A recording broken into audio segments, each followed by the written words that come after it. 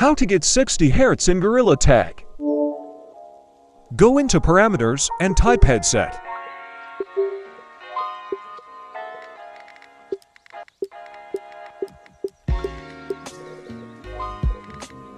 Then, go into Headset Tracking, and here you go.